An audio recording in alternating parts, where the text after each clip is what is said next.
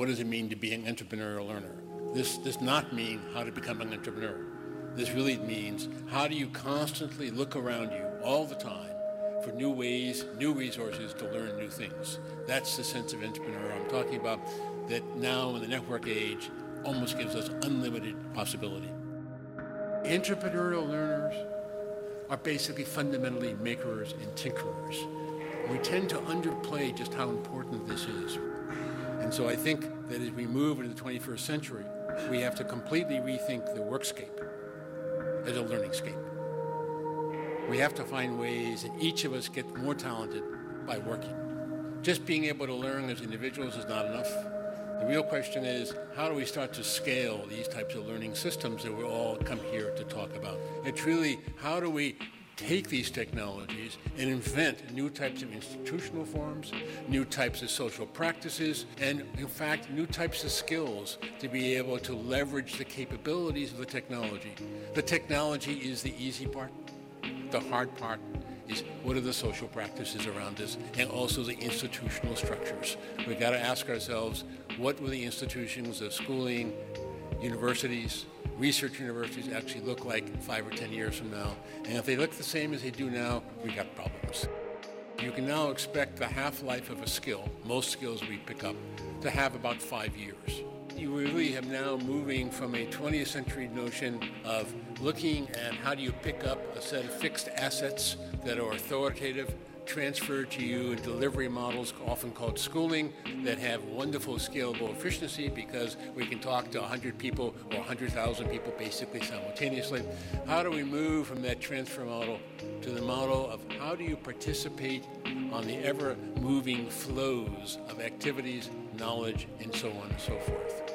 How do you move from being like a steamship that sets course and keeps going for a long time to what you might call whitewater kayaking, that you have to be in the flow and you have to be able to pick things up on the moment. You got to feel it with your body. You got to be a part of that. You got to be in it, not just above it and learning about it.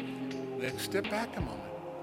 Look at the heroes, at least my heroes, back 75 years ago or so, that really drove a phenomenal movement in education. Maria Montessori and John Dewey. Perhaps they were 75 years ahead of their time. Perhaps their intuitions were right, but their tool set was wrong. Maybe, just maybe, they can now. Let's look at some examples and see even how many of the Montessori ideas, for example, can be recast in the network age that might provide us a way to create what I might call an arc of life learning that scales.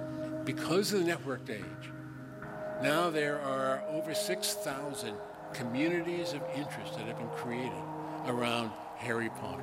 There are thousands of discussion forums there are, in some ways, 386,000 stories that have now been written. But perhaps more surprising to me is there are equivalent to at least, I would say, 100, maybe more, equivalent of 400 page novels have been written by kids joining this Harry Potter movement. Writing is back, writing is here in a major way, and we have the tools and the social networking to incite and to incent uh, people to do amazing pieces of work.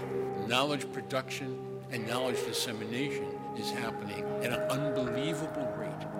In fact, if you think about the social life around the edge of the game, I'm not arguing that the World of Warcraft as a game is all that important. I'm arguing that the social life around the edge of the game, the learning ecologies, the knowledge ecologies being created on the fly as emergent properties of playing this game better and better, created by the kids themselves, is something we ought to understand. The social dynamics of that is very, very important. You look at these, the infrastructure being created to support the videos, the forums, uh, the wikis, the blogs. How does this work? How can 12,000, 14, 15,000 new ideas a night be processed?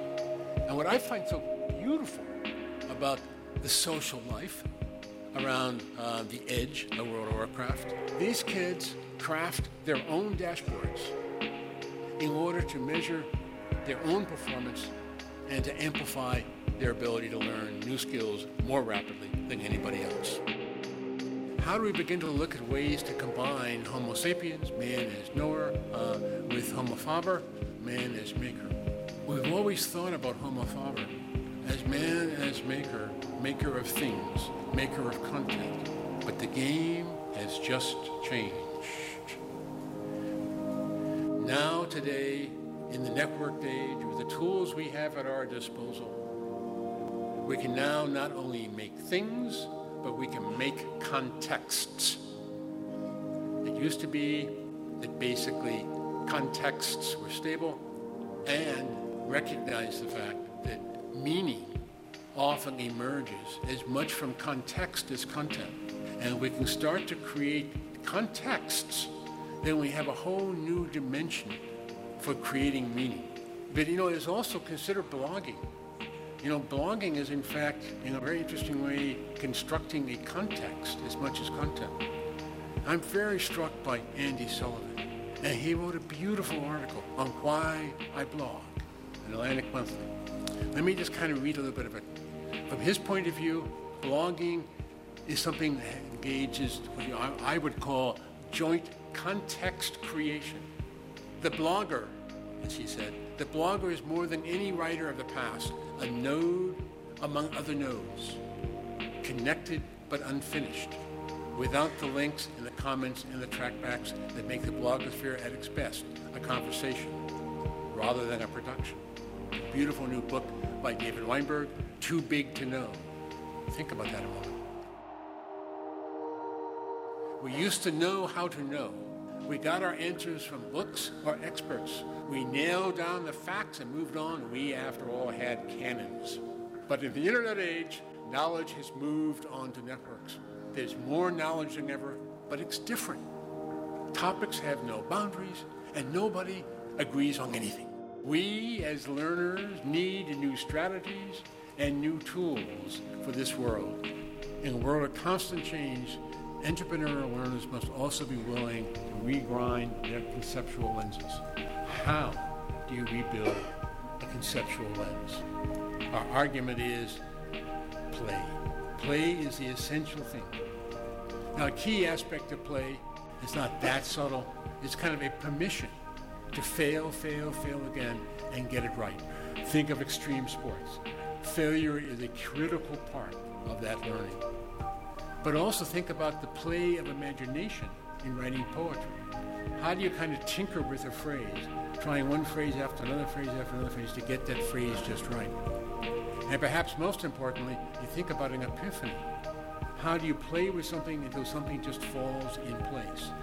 Because if we can create one epiphany for one child, that epiphany lasts for life for that kid. Brilliant teachers are brilliant in being able to create epiphanies for kids. How do we think about that? And how do we use play as a way to amplify the chance for that to happen? Tinkering is, is catalytic to many kids as a way to kind of understand the moves that are possible. Now, the reason I bring up tinkering in particular is in a world of constant change, if you don't feel comfortable tinkering, you're going to feel an amazing state of anxiety. So I want to suggest that the world we're actually moving into and the tools that we want to build, the institutions we want to create, the different types of connections we want to make, the different types of institutions that already make up our context and maybe make some new institutions, really says how do we get a more balanced structure between knowing, making, and playing, homo sapien, homo faber, homo ludens. And think about this in terms of riddling and world building. How do you actually start to kind of build new worlds with the network tools that we actually have, which is the deepest kind of tinkering? The real game that we have today in this networked age is new notions of networks of imagination. How do we amplify our ability through kind of emergent collective action. But the key part of play is a space of safety and permission. What kinds of permission do we give our students today? What kinds of permission are required for the tools we're talking about to really have their power? And what types of institutional innovations do we need to think about that grant those types of permissions in order to be playful in this deep epistemological sense. So I think we're finding fundamentally new ways to bring about change is really now looking much more carefully in how you build webs of connections outside that actually become so powerful that it actually starts to change people in the core. Not through terror, not through push, but through seduction and pull. Some of the greatest learning environments were actually the one room schoolhouse. Why were they so effective? It's because the teacher wasn't transferring knowledge, but the teacher was acting as a coach, a coordinator, a mentor, that getting older kids to spend some time helping younger kids. So the older kids were teaching the younger kids, and then the younger kids would turn around and also teach the younger, younger kids. It was an amazing social dynamic in that classroom. And the teacher was responsible for orchestrating that amazing ability to learn and to teach simultaneously by each student in that class. Let us ask, is it possible we're getting in a position to take the one-room schoolhouse and make it the global one-room schoolhouse through these networks of imagination and new forms of mentorship?